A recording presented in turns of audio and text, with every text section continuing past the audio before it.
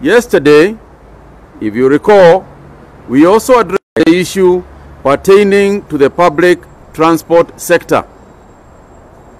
We reminded those operating in this sector to adhere to the directive we gave on March 20th, 2020.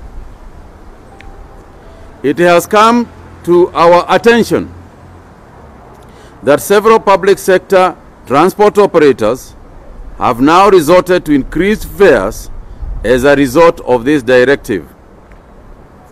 I want to make an appeal to those in the matatu industry and others in the transport sector not to increase fares for our commuters. By so doing, it will be counterproductive as we continue to fight this virus in our country. You will remember that I had said from the beginning that every sector is going to take a financial hit in this crisis and to expect that one sector is going to punish everybody else for them to maintain a scenario where they are earning as much as they could is immoral and unfair.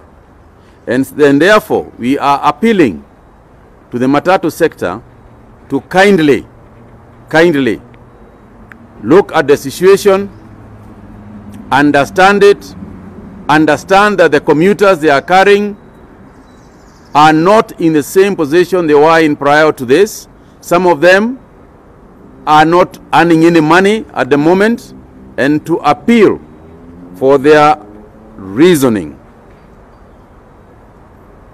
As we indicated yesterday, we have suspended all flights effective midnight 25th March 2020, international flights, as one of the key measures to prevent importation of additional cases in the country.